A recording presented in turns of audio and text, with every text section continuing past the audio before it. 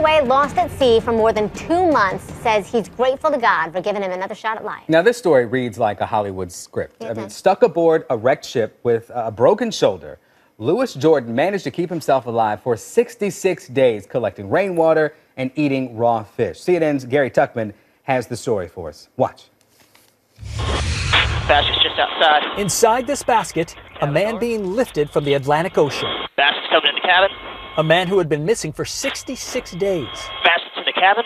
Louis Jordan rescued after he says he spent most of the winter in the Atlantic in a 35 foot sailboat. Jordan says the boat capsized and lost its mast during rough weather. Now reunited with a father who thought he would never see his son again. The 37 year old says he set out fishing from a marina in South Carolina in late January. He was reported missing on January 29th.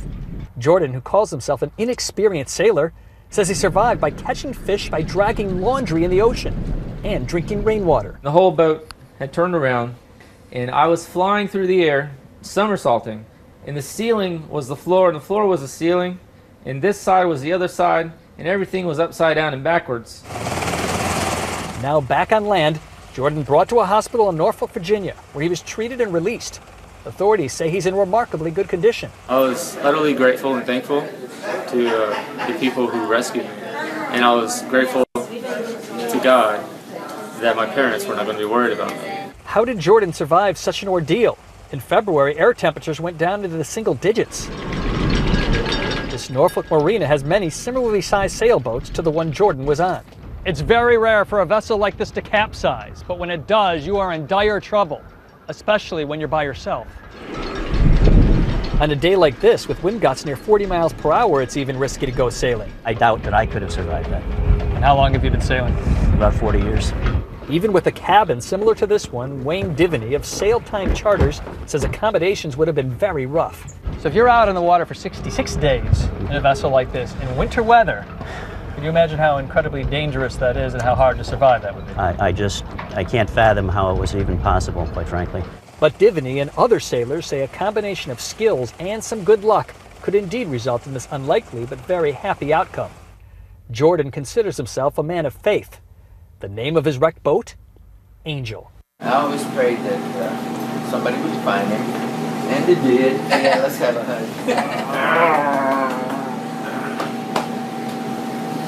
I love this man. love him with all my heart.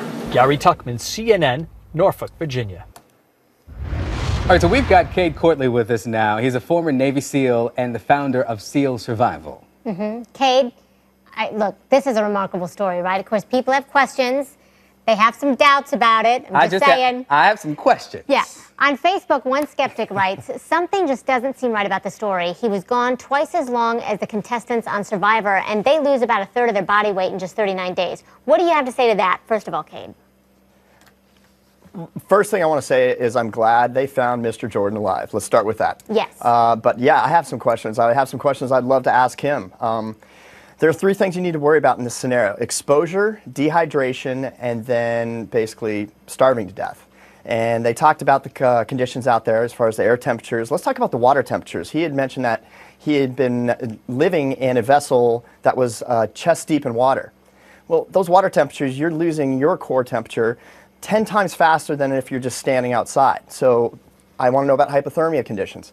Okay, he said that he gathered rainwater. Yep, that, that's highly likely. But then again, he said that he was constantly battling waves, and when that salt water gets into that rainwater, it's contaminated, you can't drink it. Uh, and then the big thing for me is his condition when they found him. Now, I spent six days in POW school. I lost 22 pounds in six days. This guy looked healthy. He was walking. He didn't appear to have any exposure wounds on his skin or his face. And, and again, I'm glad Mr. Jordan's alive, but I want to ask him some questions. Yeah, where are the sunburns? And if, if the boat capsized three times, how are you, with a broken shoulder, going to flip it back the right way? Well, last night on CNN, Jordan's father said that he believes his son. Listen. When I spoke with him this morning, that he showed an emotional um, effects of this ordeal that I had never, I never saw this emotion in him. He, he was uh, very emotional, and he's normally a very private person. So uh, I, you know, I know he went through what he went through. Yeah, and what we saw from some of the rescuers from the Coast Guard, they said that when they saw this man, Cade, that all they had to see was the look on his face and the response when they found him that they believed him. Do, do you, I mean, I know you have questions, but from all of your expertise, do you believe this story? I believe this can be done given the conditions, especially the fact that there was a lot of rainwater that could have been collected. That's the first thing that's going to kill you ne- next to the exposure. So I believe that a human being could make it 66 days in that location given the conditions. I do. And I don't want to take anything away from this guy. Again, we're glad he's alive. I would love to chat with him though. You know, the, the father reported him in the boat missing January 29th, and the father said, you know, he's got a very strong constitution, not only physically, but spiritually. And, and that he told the father on the phone he was praying the whole time, so I believe that sustained him a great deal. What do you think this story says to you, to us, about human will? Well, um, in a situation like this, when I, I'm discussing survival techniques, this is what I put under the long haul survival. That's when you have to completely re gear your mind toward I'm not going to be here a couple days, I'm potentially going to be here a couple weeks, or even in this case, a couple months. And so, therefore, little tasks like uh, you know, I was able to catch a small fish today. That ends up being a victory. And it's these series of little victories that will morally keep you alive.